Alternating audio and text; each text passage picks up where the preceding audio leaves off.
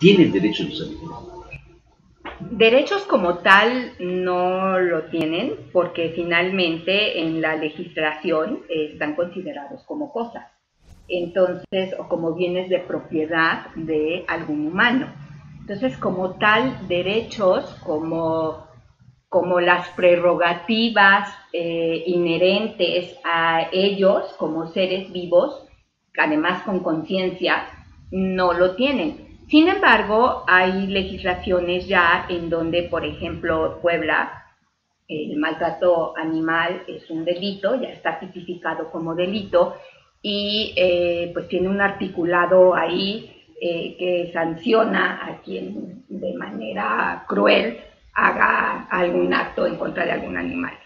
pero realmente en el sentido estricto no es derechos lo que, lo que los animales tienen. A pesar de que en 1977 se, se, realizó la Declaratoria Universal de los Derechos de los Animales, pero llama mucho la atención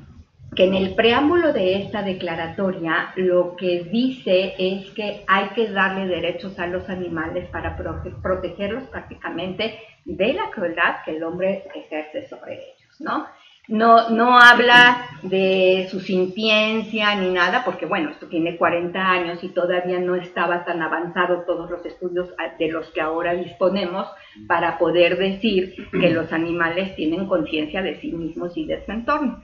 Sin embargo, surge después de esta declaratoria, no sé de dónde emerge, pero surge con mucha fuerza el hecho de decir que los animales, por no tener una personalidad jurídica, no pueden tener obligaciones y por lo tanto tampoco derechos. Surge otro concepto que es muy interesante, que es el de bienestar animal, que eh, es, un, es un concepto científico, es el estado en donde los animales tienen cubiertas sus necesidades fisiológicas, psicológicas y de comportamiento. Y en vez de hablar de derechos de los animales, habla de libertades de los animales, libres de hambre, sed y desnutrición, libre de dolor y enfermedad, libre de incomodidades. La cuarta es libre de miedo y angustia, que aquí ya le confiere un tema psicológico muy serio, y libre de mantener un comportamiento natural.